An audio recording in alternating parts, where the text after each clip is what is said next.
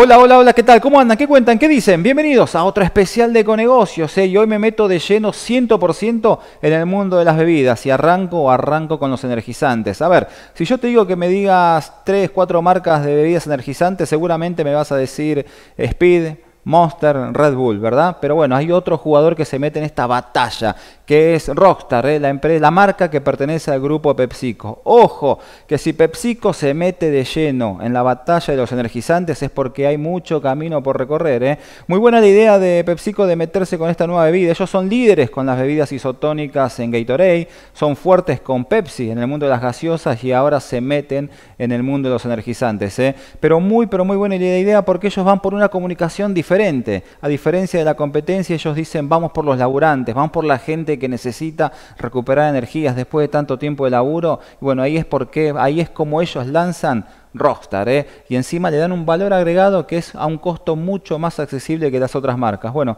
Rockstar se mete de lleno en la batalla de los energizantes, PepsiCo está decidido a copar el mercado y lo vuelvo a decir, ojo, ojo, ojo, que si PepsiCo se mete de lleno en este tema es porque debe haber todavía mucho, mucho, mucho por explotar. ¿eh? Bueno, después veremos a ver cómo responde la competencia.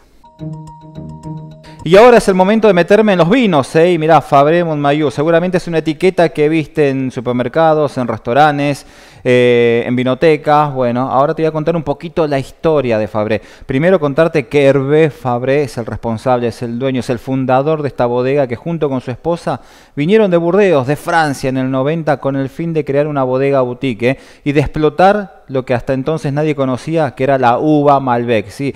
Ellos fueron uno de los primeros en explotar la uva Malbec y que se convierte en lo que soy, ¿no? La uva nacional. ¿eh? A ver, ¿Qué tiene de bueno esta, este Malbec que te voy a contar ahora? ¿Qué, qué, tiene de bueno lo de Hervé Fabre?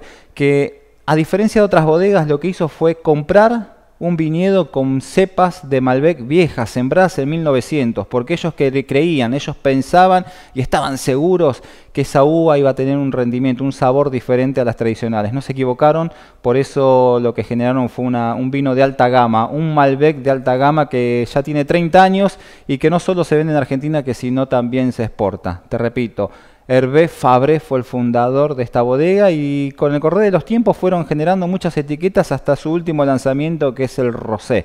El Malbec Rosé 2020 donde, bueno, también es un vino fresco donde ellos dicen, también este es un vino para, bueno, joven, para los jóvenes justamente y para que pueda disfrutarlo todo el mundo. Es la evolución de Fabré, del vino Malbec, de ese vino boutique, de ese vino que nació allá por el 90 hasta el vino Malbec Rosé que nació en el 2020. Y se termina otro especial de Conegocios, como te dije, 100% bebidas, ¿sí? Me retiro, me retiro con dos bebidas listas para tomar.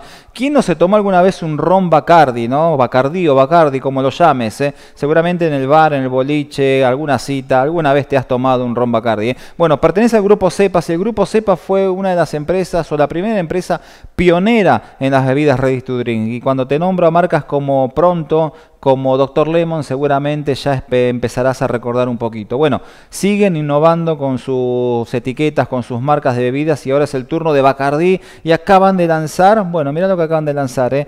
dos nuevas bebidas de ron Bacardí listas para tomar, ready to drink. ¿eh? Tengo acá el famoso lemon con menta y el famoso ron con cola, ¿no? Bueno, contarte cómo las empresas también se adaptan a los cambios. Saben que hoy el mundo de las latas está evolucionando bastante y si bien Cepa fue uno de los pioneros, no quiere quedarse atrás y bueno, lanzan estas nuevas, estas nuevas latitas. Por eso yo la voy a abrir en este momento para que veas.